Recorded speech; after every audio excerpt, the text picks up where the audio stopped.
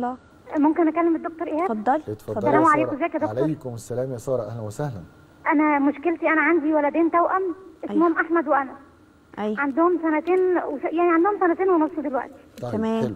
إيه مشكلة مشكلتي معاهم كذا مشكلة هحاول أختصر على قد ما أقدر يعني. نمرة واحد. مشكلة أقوى مشكلة. هم يعني عش- شقاي جدا فرحنا لجمعية تعديل سلوك. آه. فقالوا لنا إن هم عندهم فرط حركة. ها. وقالوا لنا إن هم عندهم مشكلة تانية مع فرط الحركة اللي هي خلل حسي. لأنهم على طول في البيت ما بيرضوش يستحملوا اللبس على جسمهم. آه، على طول ال 24 ساعة تلاقيهم بيقلعوا هدومهم. مش مستحملين اللبس على بي- ما جسمهم. بيرضوش يلبسوا اللبس. الأول بدأت بالبامبرز وال... وال... والشورت بتاعه. بعد كده بدأت باللبس من فوق. وبقى يعني هو ده له علاقه بالحر أو كده؟ آه. يعني لو لا لا لا. حر. بدأت من الشتاء اللي فات. عندي ابني أحمد بدأت من الشتاء اللي فات كان في عز الشتاء يقلع ويبقى مش عايز يلبس البامبرز ولا عايز يلبس الشورت بتاعه ها. فلما رحت بتعملوا الجمعية إيه؟ بتاعة تعديل السلوك ديت قالوا لي إن إيه إن دوت خلل اسمها حاجة اسمها خلل حسي خلل طيب. حسي آه آه طب. ولما بيقلعوا بتعملوا إيه أنا طبعا كنت الأول ببدأ أتكلم معاه كان طبعا لسه سنة ونص ما كانش بيقدر يفهم الكلام اللي أنا بتكلمه فبدأت طبعا أتعصب لأن حضرتك شايفة اتنين توأم وكل خمس دقايق بيجي الله يكون قالع في عونك. فانت عايزة بقى الخمس ال ال- ال 24 ساعة تلبسي طيب. بقى. ده واحد وراه. نمره وبعدين اتنين. كمان لسه صغيرين فما تعو... ما تعودوش يقعدوا على التويليت فبيعملوا حمام في أي حتة بقى لما بيقلع. يا عيني الله يكون في عونك. طيب آه. قلع هدومهم وخلل حسي طيب وقالوا الحاجة الثانية فرط الحركة لأن هم ما بيناموش بالليل كويس بيكسروا كل حاجة شقاي ما بيقعدوش خالص. يعني أنا أحمد وأنس ما بيقعدوش خالص في أي حاجة. ما بينتبهوش جدا خالص طب دايما بيبقى. في واحد أهدى من التاني مفيش ده عندك؟ لا خالص. آه، ما بينتبهوش ابدا. الاثنين بيشجعوا بعض.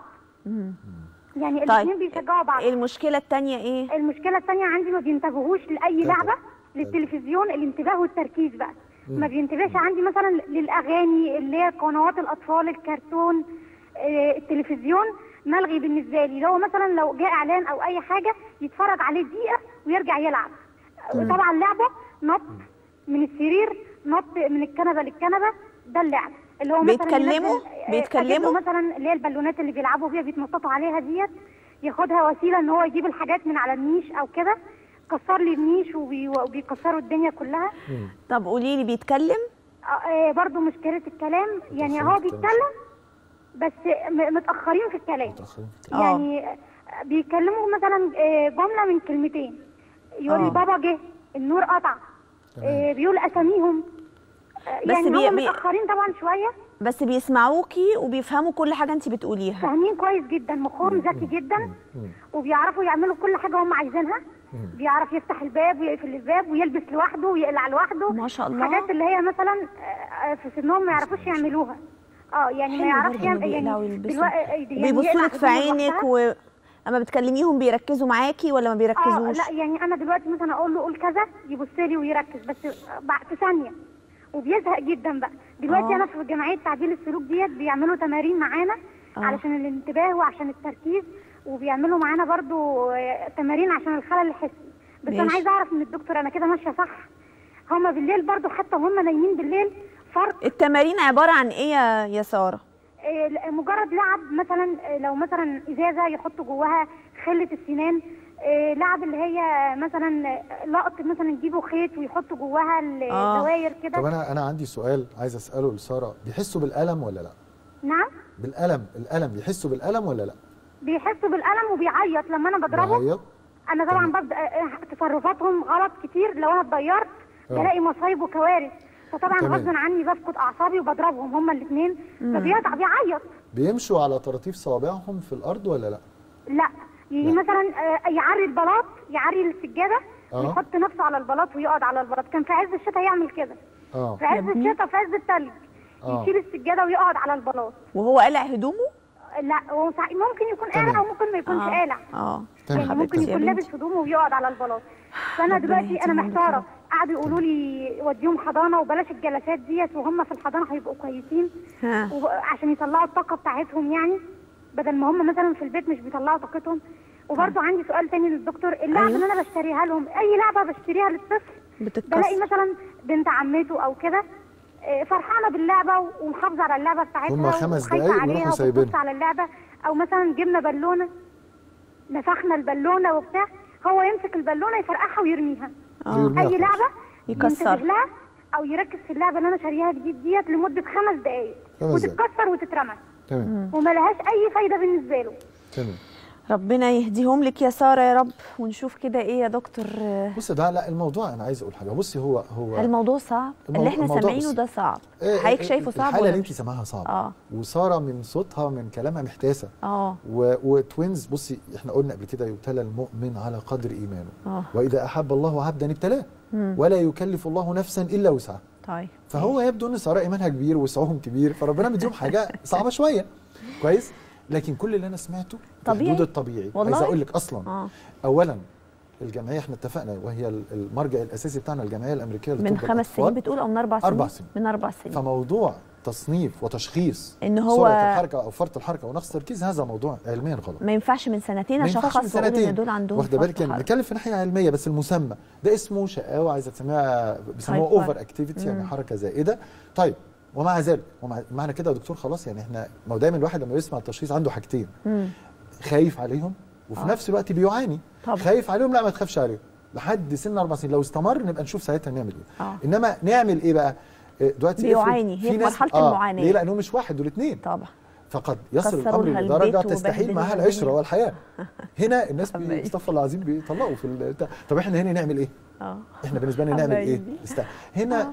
أحيانا إذا وصلت الأمور لدرجة آه، حاجة من الاثنين يا إما الضرر وقع على الأطفال في صورة إنهم بيعوروا نفسهم بيعوروا بعضهم لا مش هسكت هستنى إيه اللي يحصل بكره بالظبط كده أو إذا سيبك من نيش فداهم بس الفكرة إنه لو الأم هتتجنن هيجرى لها حاجة يعني لا تعمل تستطع إيه؟ أن تتحمل هنا لابد فاهم؟ التدخل. عندنا اولا قبل برضو ما انت ما تجيش قلنا قبل كده ما نحطش الحاجات اللي فيها بوز والحاجات اللي فيها إزاز والحاجات اللي آه، انت خايف عليها لازم المكان يبقى المشاكل. هتكتر طبعا. آه. فأنت عارف ال... أنت عارف دائك فأول حاجة بتلعب فيها البيئة. البيئة تبقى آمنة. آمنة. سجادة عاملة زي الصوف اللي عامل كده حاجات soft خداديات مش عارف إيه يقعوا يتخبطوا. هقلل كمية القلق اللي أنا فيها شوية. ده بالنسبة لساره القلقانة دي. آه. آه، حاجات أنت مفيش نيش خالص في بيت فيه عيال يعني كده. حطوه في أوضة ثانية اقفلوا على الأوضة اتصرفوا. يعني طيب مش لايق على الوضع. ال- ال- ال toys واللعب اللي هم بيلعبوا فيها ده حتى التلفزيون أنا خايف على الريموت وخايف عليهم آه، وخايف آه. على حاجات كتير. ظبط بيتك اعمل design بيتك بيسموه child proof ضد آه. مخاطر الأطفال. آه عليهم طيب. وعلى البيت. دي أول حاجة. طيب. دي حاجات مهمة يا حاجات سارة. مهمة جدا. آه يعني م... ها آه. يعني هي ممكن تقول انت لك ما تجيش تحط لي آه. الموبايل والإزاز وبتاع وكل يوم يتخبط ويتعور تقول لي أنا. عندي مشكلة. ما أنت بتصمم بيت. دي حاجة. الحاجة الثانية طبعا أحيانا قد يص... برضو خليكي فاكرة حتة السكريات والوجبات والأكلات اللي آه بياكلوها. الحاجات الحلوة أنت بتهايبر أنت لو أكتر. صورتي ابنك يا دعاء. وهو واكل شوكولاتاية قبل وبعديها بربع ساعة صوريه فيديو على الموبايل كده. وشوفي. الأداء شوفي موده عامل إزاي شوفي حركته عاملة إزاي شوفي. تركيز واخد بالك؟ آه. اندفاعيته. إيه الشوكولاتات والحلويات وال؟ هم ثلاث حاجات أساسيين الصناعيات والسكريات وطبعا كان في كلام على آه،؟ منتجات الألبان. آه. آه آه. إنه إنه بس في الناحيه اللغوية أكتر يعني. تمام آه، ما هو ان فالحاجات عندهم دي الناحيه مش بنمنعهم. برضه بس بنقول قننوهم يعني آه، أنت جاي مش طول الأسبوع، أو مش كل يوم، آه. عايزة عايزة العيال يناموا تديهم السكريات قبل ما يناموا مم. على فكرة بي بيساعد على الأرق شوية وبيساعد على الحركة طيب. الشديدة حضرتك كنت كلمتني مرة قبل كده في موضوع القهوة للأطفال اللي في السن الصغير آه ده وده على ذكر ال- الحاجات الغذائية فعلا آه. آه. أي حاجة فيها دعاء بن 70% وده كلام كتاب دكتور نيلسون اللي هو من أهم أطباء الأطفال في العالم كده الراجل مات بس كتابه مخلد وكل آه. آه. أطباء الأطفال لحد النهارده بيتبعوه قال في أحد الشابترز بتاعته إن القهوة بتقلل الحركة وترفع التركيز وتهدئ روع الأطفال وملهاش ضرر زي ما الناس متصورة القهوة ظلمت القهوة ظلمت آه واخده يا بالك لسه واحدة صاحبتي دلوقتي آه. بتقول لي لا ده أنا ما برضاش أدي لبنتي لا، نسكافيه ولا قهوة ابدا عشان كده. هي آه. مهيبرة في الباص آه. وما أعرفش إيه اللي وكده أنا متأكد منه إن الشاي لأ الشاي لأ إنما القهوة آه. يعني تنصحها بإنها تاخد قهوة و... نسكافيه كابتشينو والحاجات اللي هي تدي. للولاد بالحاجات دي آه. هيهدوا. بعكس الكاكاو وما تديش كاكاو ولا حاجات حلوة ولا شو... ولا شوكليت آه. ولا كده مش إيه تمنعهم بس تقللهم تقننهم طب إيه موضوع الح... الخلل الحسي ده آه هنا بقى آه، بس آخر حاجة عايز أقولها هنا بالنسبة لده إنه قد نلجأ للعلاج الدوائي آه، في أدوية في مفيش ثلاث أربع قطرات هم المسموح بيهم للعالم قبل سن أربع سنين. آه. حاجات كده زغزغة بسيطة كده تهدي شوية الدنيا. بعض الأمهات يعني بس لا أنصحهم بالاستمرار في ده استخدموا أنت عارفة مضادات الهستامين بتاع البرد على أساس يعني يسطل العيل شوية. تدي له دواء دواء برد يقوم نايم.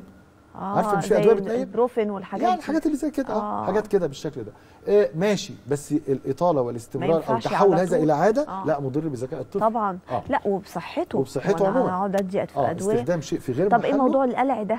آه. بيقلع وينام على ال- على يعني أنا- البلاط وهو. بس ساقع هقول و- لك حاجة اولا خلينا نتكلم بصراحه آه، أنا نفسي كلنا كل كلنا مرينا في فرق بين إنك أنت بتعمل حاجة عشان تغيظ مامتك وعلشان آه، بتعند معاها وبتغلس عليها ومجننين الست الولدين آه. يعني خلوها خلاص وأنس. وبين آه. الخلل الحسي الحقيقي بص إحنا عندنا ال sensory integration أو التكامل الحسي ده موضوع لازم يعني بيدرس. حضرتك قلت سألتها هما بيحسوا بالألم قلت آه آه ليه أنا سألت السؤال؟ ما هو أنا آه. بحاول أزغزغ من ورا كده. آه. بال أصل أنت مش كل طفل نام على البلاط يبقى عنده اضطراب حسي يا دعاء. مش آه. كل طفل حتى لو قلع في الشتاء وقدام المكيف كل ده هم الأمهات بتبقى خايفة تقول لي يا حبيبي هيجي لك برد. ما ينفعش كده. ويبل نفسه ويبل هدومه ويجي قدام المكيف. كل ده بيحصل. آه يعني اللي عنده خلل حسي ده ما بيحسش بالألم.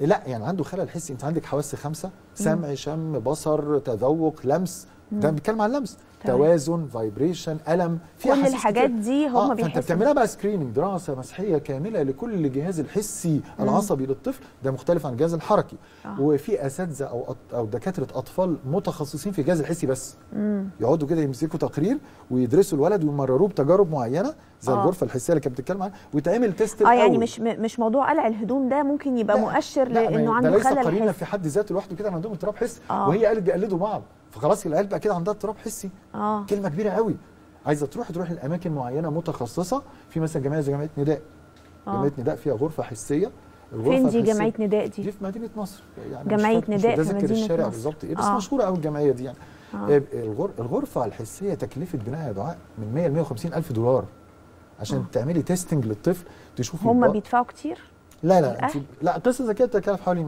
يعني 300 ل 400 جنيه 300 بس عشان. تعملي تيست آه. وهيطلع تقرير عشان تفهم إذا كان فعلا عنده. خلل بالظبط بقى ولا لا. بشكل علمي. طيب آه ماشي. ده كده فيها دكتوراه وماجستير وحاجات. آه طب. ويتكتب بقى تقرير وتوصيات. والله إذا وجدوا إن الطفل عنده مثلا اضطراب في حاسة اللمس مش حاسس بالبرودة والسقوعية ولا الألم ولا كذا آه ينصح له بعمل كذا كذا كذا. وهم بيعملوا الجلسات دي والجلسات دي رخيصة.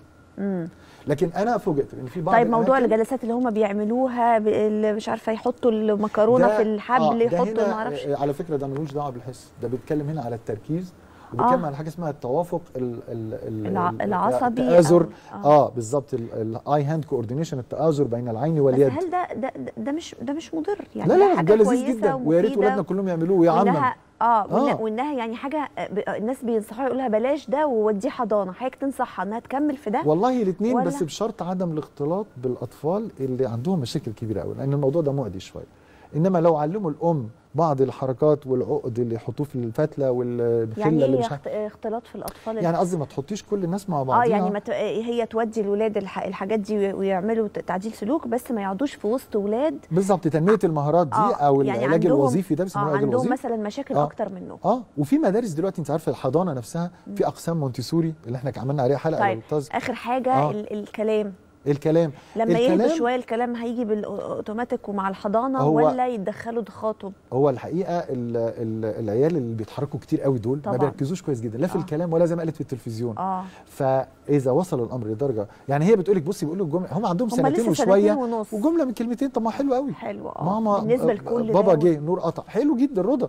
آه. عايزة تكثف إيه، يعني لو لقيت أنا بقول ما نستخدمش أدوية أو نحاول نرفع التركيز أو كده إلا لو كانت الأمور يعني تصل لدرجة فيها اذى أذى آه. على الطفل الأطفال كل يوم واحد متعود هستنى إيه أو أذى على الأم أصبحت الأم بس نفسيا مع حد متخصص و... طبعاً. و... آه، مش- وأكتر مش- من مرة ونسأل و... وتبدأ زي ما أنت قلتي قبل المتخصص متاح لي يا ستي الأغذية والقهوة والنسكافيه تلعب القهوة. جربي كده بموضوع القهوة الادويه ما ده تقتربش غير لما يكون في آه. متخصص نبص على جربي موضوع. القهوة ده و...